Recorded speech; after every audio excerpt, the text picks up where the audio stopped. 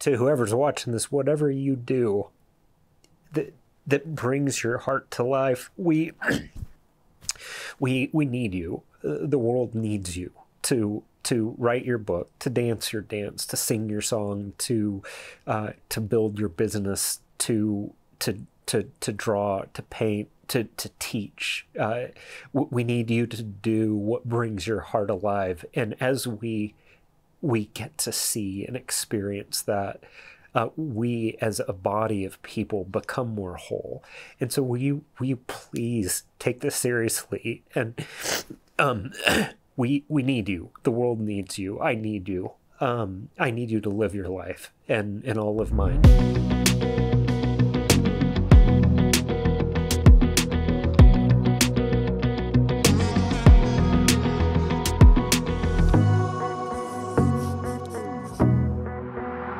Hey everybody, welcome. Um, my name is Jonathan Den Hartog. I'm a mental health therapist in Littleton, Colorado. If uh, if you've seen any of the other videos, welcome back. If this is your first time, thank you for for coming. Um, about a week and a half ago, I was out to dinner with my oldest son. His name is Leaf, and and he said to me, he said, he said, hey, hey, Dad, do you know what is uh, what's really cool about these YouTube videos that you're doing? And I said, what's that? And he said, well, when um, when you die, they'll always be there. And so if we want to like see you or listen to you talk, we can just go online and listen to your videos. And I was like, oh, I guess you're right. And but but then it made me think of like when they when my boys were really little. Um, I remember when Leaf was probably eight or nine years old. He he would say to me, he'd go, "Hey, Dad, when you when you die, can I have your bag?" And and I'm like, what, what, what is the deal with like my kids like always thinking about me dying and what they're going to get out of it when I die? Um, but so I have I have a 20 year old son, an 18 year old, a 16 year old, and an 11 year old, and I won't incriminate him eh, here, but one of the teenagers, I I said to him, I one night I said, hey, would you like to go have lunch or dinner with me sometime? And he he goes he goes why? And I said, well, it's just been a little while since we've spent any time just one on one. Like we could go hang out and talk. And he goes, about what? And I said, about anything. Just like, like I want to know how you're doing, and we can just talk. And he goes, okay. And and I, I didn't say this to him, but I'm like, like, do you do you re- do you realize that like do you realize that people pay me to talk to them? like this is what I do for a living, and it's like pulling teeth to like try to get you to go have dinner with me. Um, I, I, I hope it's a phase and that it's just something that is going to pass. Um, but I'm saying that to say that like there've been there've been a few people who've watched the videos, and there there are some of you that I know personally, and I know that you have been watching each one of these, and I just want to say thank you. Um, it, it really means a lot to me that you would invest your time to to sit and and and listen. I just want to thank you and um,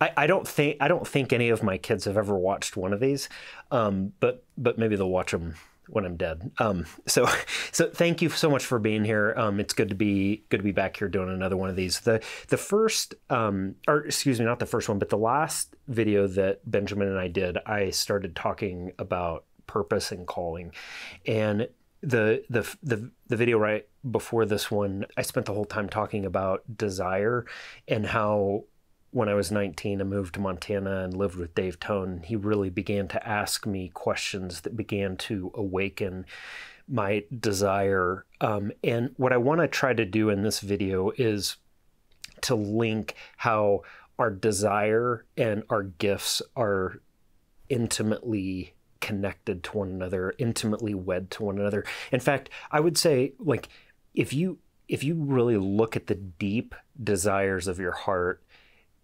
to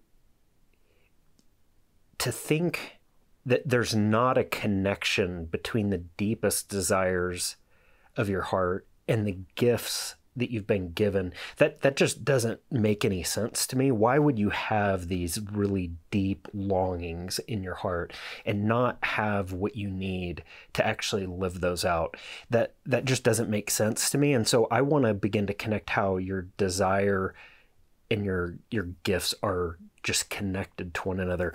Um, about two weeks ago, I was listening to an interview that was done with Jerry Seinfeld. I've loved Jerry Seinfeld for the last 20 years and I, I I love the show but I love his stand-up routine but more than any of that I, I just find him really interesting and so I was listening to this interview and the guy who interviewed Jerry Seinfeld his name is Larry Wild um, L- Larry asks Jerry at the beginning he said so Jerry can you identify the point in time in your life where you knew that you wanted to be a comedian and Jerry very quickly said yeah um, I was I was about eight years old and I was sitting on my stoop with my best friend and we were eating milk and cookies. And I said something really funny and my friend laughed. And then he spit his milk and his cookies all over my face and all into my hair and all over my clothes. And I thought to myself in that moment, I want to do this professionally. If you listen to the interview, you'll hear more about this. But but then he went on to say that at that point in time, being a comedian wasn't something that was an option that you do as a profession. He said that he would have times where he wouldn't have a night off for 18 months and he didn't get paid a penny to do this. He would go from nightclub to nightclub and night to nightclub doing the same 20 minute routine and he would usually do it twice a night and he would do that every single night 18 months in a row without taking one night off and didn't get a pay, paid a penny to do that. But he said, I the reason why I've become so successful is because I I wasn't thinking about money. I wasn't thinking about a career. I mean, that really wasn't even a thing at the time. I just knew that what I loved more than anything in the world was making people laugh. And all I wanted to do was to be on a stage making people laugh. And that's how and why he became so successful because he wasn't looking to the the long-term outcome he just knew what he desired. And as he followed that desire he realized that he was very gifted at it and that's what he has spent his entire career doing. There's a there's a verse in the book of proverbs. It's proverbs chapter 18 verse 16 and that verse says a man's gifts will make room for him Another translation of that verse is a man's gifts will bring him before great men or bring him before kings.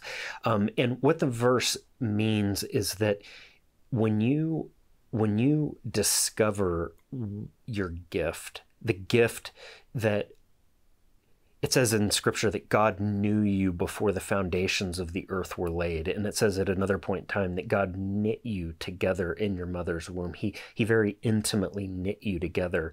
When God created you, God knew you and he gave you a gift or gifts and he he gave you a gift that will lead you into your calling and into your purpose in life and when when you move into that gift, what that verse means in Proverbs is that as you step into your gift, that the world will open up to you. Um, a man's gifts will make room for him. The, the world will open and make room and make space for you to live out of the fullness of the gift that you've been given. Um, when I was 10 years old, the movie Chariots of Fire came out in, in the movie theater. And I, I, fell asleep in the first 10 minutes of the movie. It's not a great movie for a 10 year old because um, it's pretty pretty slow and pretty boring, but it's a really it's a really good film. But the, the movie is about this guy named his name is Eric Liddell. And Eric was um, Eric was a Christian man, but Eric was also a runner. And he, it's a true story. And Eric was going to run in the Olympics, and his sister was very, uh, very disappointed by this idea because her idea of like what a godly man and her brother would mean would be that he would go and he would be a missionary to China. But Eric loved to run.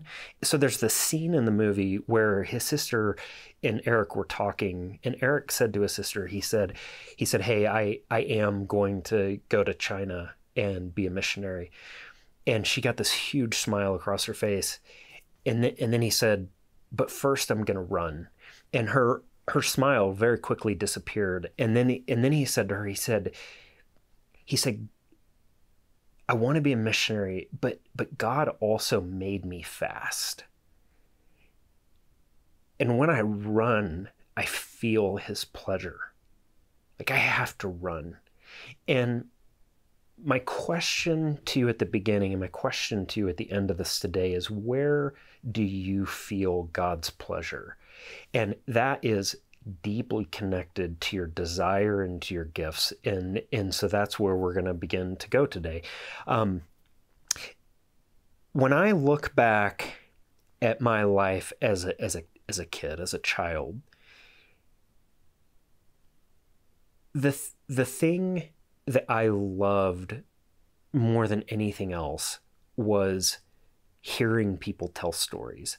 I have loved movies my whole life, still to this day I do. If we have a family night and we all kind of come together to do something, my kids sometimes want to play a game or they want to go somewhere and go, like go bowling or everything that everybody wants to do is some sort of an activity. My idea 100% of the time is let's watch a movie.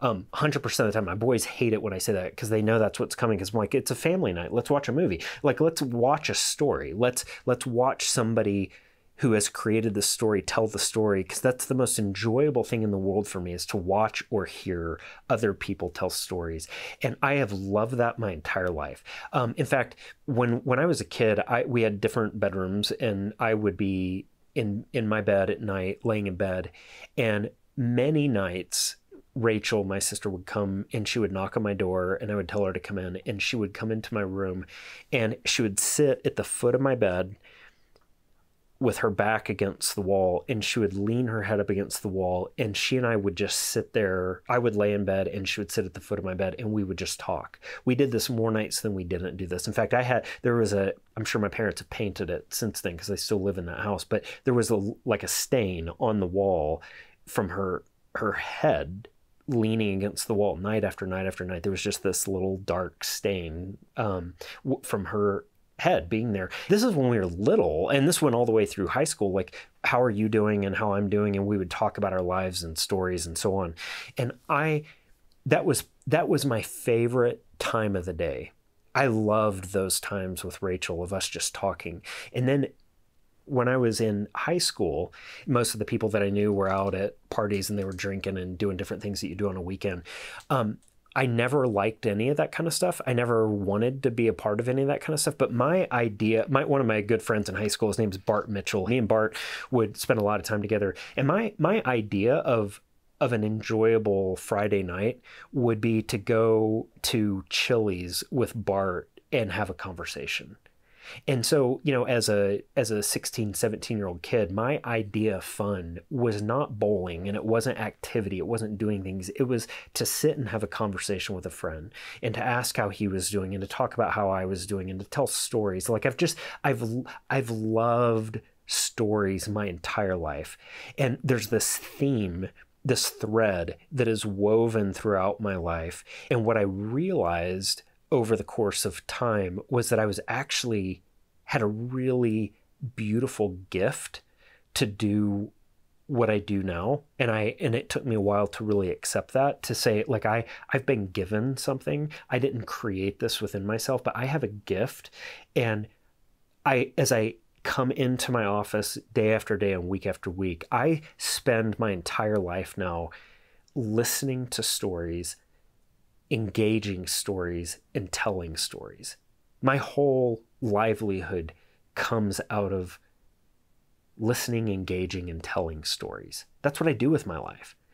I, I can just tell you when I'm sitting here engaging the heart and the story of another person, I I feel God's pleasure I said goodbye to a client that I've had for um, about the last two or three years, uh, just a couple of weeks ago. And in the work that we've done together, we have deeply engaged his heart and his story.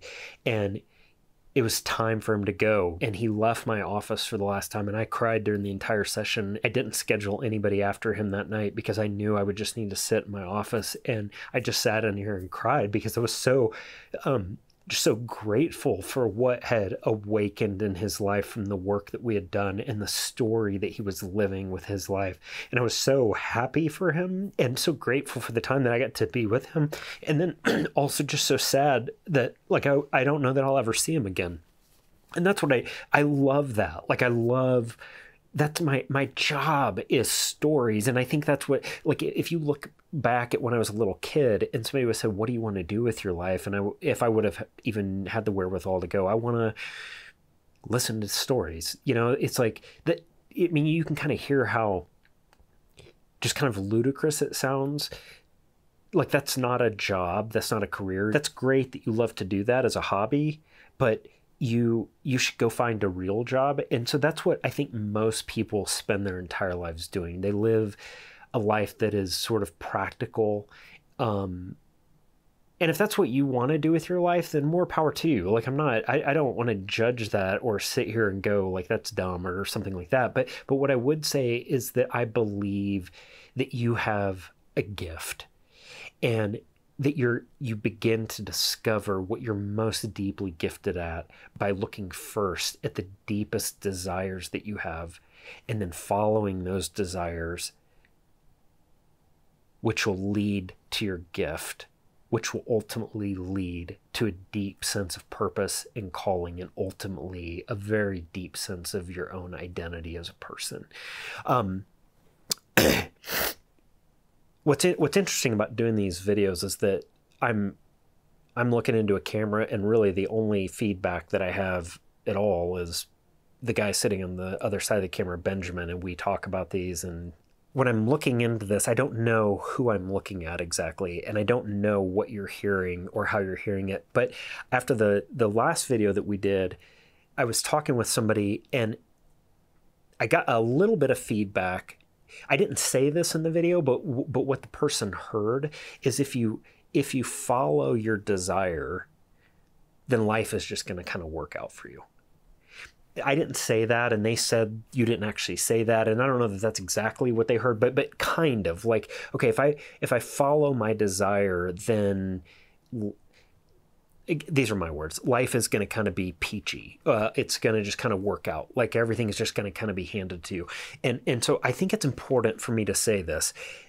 I think that the path that i'm talking about is actually a v- probably the most difficult path that you could take. I would never advise somebody just go quit your job and follow your bliss kind of a thing. Like you know, if you if you if you're an artist and you love to paint, quit your job, don't worry about the money and just go paint pictures and then and then all the money is going to come rolling in you'll be able to support your family. I, it does not work like that. That it I, it doesn't come that easily. So when i say in proverbs that your gifts will make room for you i i believe that that is a process that sometimes takes a significant amount of time. And so even when i was in graduate school i have never worked so hard in my entire life. I was going to graduate school full time i was um, i owned a painting company that i started out there to paint houses to provide income to put food on the table for my wife and my boys. In fact, there was one point in time where I had to go three days with one hour of sleep. I took a nap on the second day at like two o'clock in the afternoon because I was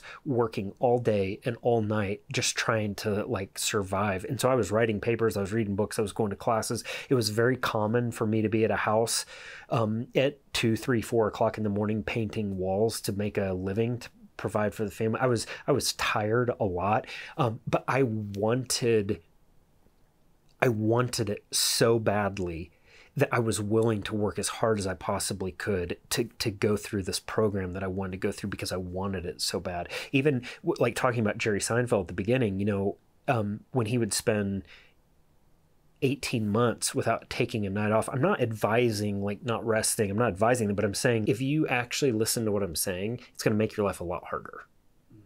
Like if you want an easy life, if if what you tell me is at the end of the day I just want life to be easy, man, just probably just keep doing what you're doing. You know what I mean? Or like go, I don't know, go find a job that pays you a little bit more. I don't know. I, I don't really know what to tell you. Like, if that's what you want, I'm, I'm not making fun of that. I'm just kind of going, like, I, I don't actually believe that's what you really, really want. I think maybe you're disconnected from yourself to think that that's what you want. But it's like, I would never tell you this is easy. but you love it so much that you don't care. So it is it is easy and it's really really hard. There's an ease to it when you are leaning into your desire and gifts. It's like getting into a river and the river begins to carry you. But finding that river means walking through a lot of woods and getting hit in the face with a lot of branches and bleeding and I mean and then even when you're in the river you're hitting rocks and it's like there is an ease to it it's carrying you but it's also really hard it'd be a lot be a lot safer if you just go sit on the shore and watch and don't ever get in the river in that interview with Jerry Seinfeld the this guy Larry Wild, he he asked him about going to college because Jerry went to college, and Jerry was talking about how like it was really important to him to finish college, like to complete something that he had started. And then Jerry said, if I would have known that I was going to do comedy for a living, I probably would have studied philosophy and history and English. And then Larry said, Well, wait, I thought you said that you knew that you wanted to be a comedian when you were eight. And Jerry said, Oh, I knew that when I was eight, but I hadn't decided that until after college. And Larry was confused by that. And Jerry said, I I was petrified about the idea of actually doing this as a career. Like it was terrifying to me. So he hadn't actually so he knew when he was eight that that's what he wanted to do, but he didn't have the courage to actually do it until much later in life. He hadn't made the decision, I'm going to go do this. Because it scared him, scared the hell out of him. I I really I could be wrong about this, okay? I could be. I think if it doesn't scare the shit out of you, it's not your calling. I think if you're really leaning in to what you're really called to, it will terrify you. You know, I had a professor in grad school tell us when somebody comes to see you as a therapist, you are their very last resort.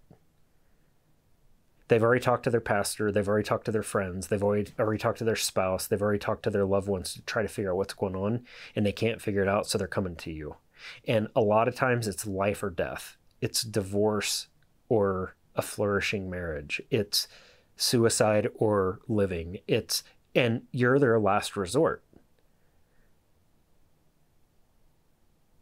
And I remember when they said that, and then I actually became a therapist, I was like, I'm your last resort. like, I don't even know what I'm doing. And I'm your last resort. That terrified me. Like, I don't ever want that kind of responsibility.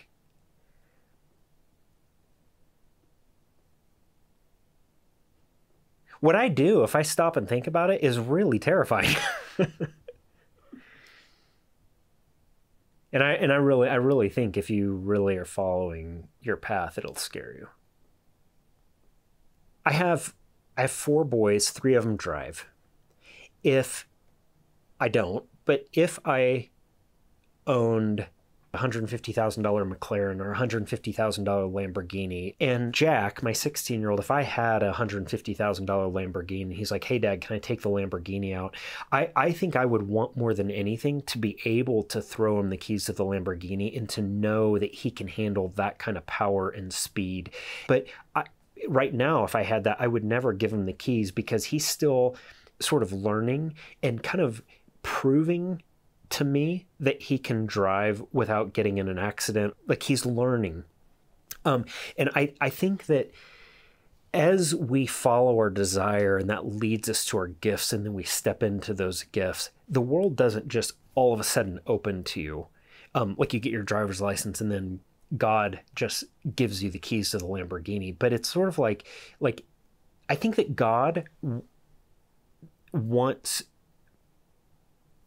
to know that you are taking your desire and your gifts very seriously. And as you take one step at a time, that it's sort of like like the universe throws you a couple bucks and then you take another step and it gives you a little bit more. And it's sort of like waiting to go are you really serious about this? Are you really serious about taking your life and your desires seriously? And then you step into those and more and more and more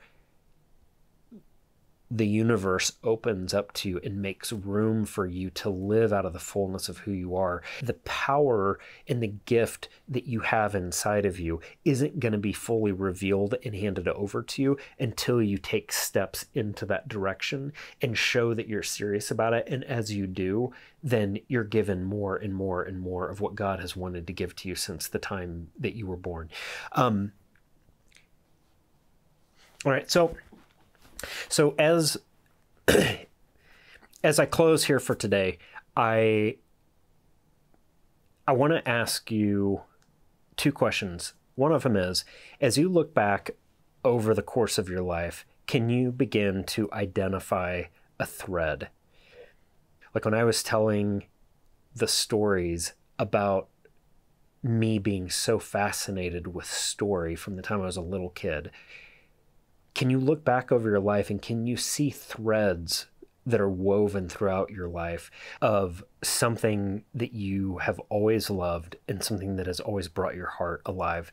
And and then circling and adding back in the question from the very beginning when I told the story about Eric Liddell in Chariots of Fire when he said when I run I I feel God's pleasure God made me fast, and when I run, I feel His pleasure.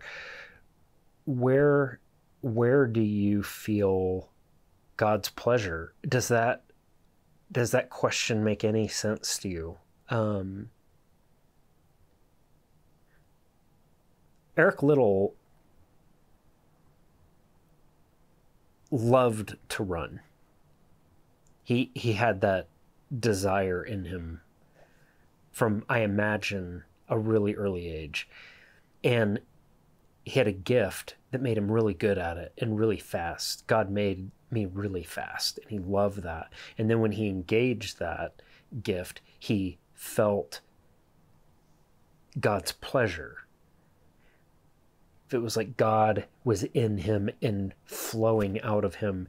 And and and even though it was just running, Eric Liddell had a massive impact on people the people around him, the other runners that were trying so hard to win, like that was their entire life was to win. I've got to win this race. I've got to win the Olympics. I've got to be a successful athlete. I don't remember Eric even really ultimately caring that much about winning the Olympics. He just loved to run. And because of that, there was something that was fundamentally different about who he was, how he held himself, how he engaged people. People were drawn to him. He exuded life, he exuded love, he exuded vitality, and he changed people's lives within that sphere of Olympians um, because he was just so different than everybody else because he did it for the love of doing it. Like I, I would even say with my wife Angie, I remember one time when we lived in Seattle all the boys were in bed and we had all these huge windows in our house and I went outside and I I went walk down the street and I came back one night and I turned around the corner and I saw Angie dancing. She was doing ballet in our living room just all by herself. She wasn't dancing for anybody. She wasn't dancing so anybody could see her. She was dancing because she loved to dance. And I remember turning the corner and seeing her through the windows. And I still remember, like, my, for a, a moment, my heart literally stopped.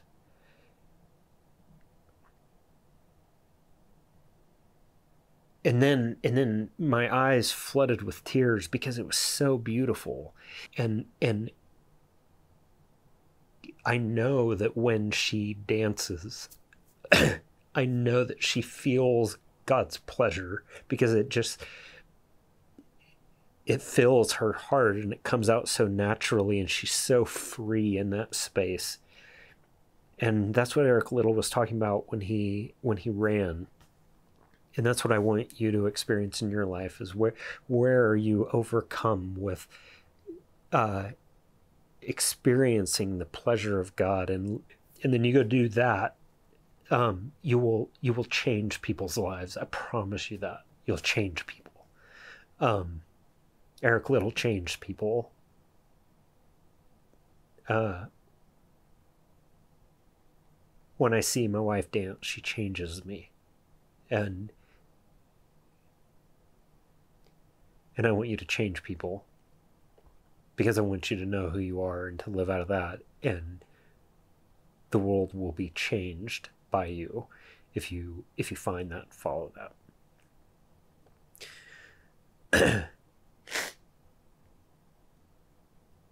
there's one there's one TV show that my family watches as a family each week, and that's uh, the show America's Got Talent. And one of the reasons why I love that is that there are people that come on that show that have uh, loved something since they were a little kid, and the amount of courage that it takes for them to go on that stage and to sing their song or to do their their you know their their their magic or to dance their dance uh, i'm every time I watch that show, I I cry because there are people that are having the courage to step into what they love, um, and and I'm not asking you to go onto a TV show or anything like that unless you want to, but like just to take one step into the thing that brings your heart alive and where you feel God's pleasure. Um, to take one step in that direction. Um, and I want to say this before we close. Um, I I can't dance. I I can't do what Angie does. Um, I run six days a week, but I can't run like Eric Liddell. There are a lot of things that I can do and that I've worked hard at, but I can never do it in the way that somebody can that has really been gifted. And and what I what I just want to say is like it, like Angie uh, please keep dancing. And to whoever's watching this, whatever you do that that brings your heart to life, we we we need you. The world needs you to to write your book, to dance your dance, to sing your song, to uh, to build your business, to to to to draw, to paint, to to teach. Uh, we need you to do what brings your heart alive, and as we we get to see and experience that. Uh, we as a body of people become more whole. And so will you will you please take this seriously and um we we need you. The world needs you. I need you. Um I need you to live your life and and I'll live mine. Um and we'll end it there. And uh, we'll see you next time. Thanks for watching.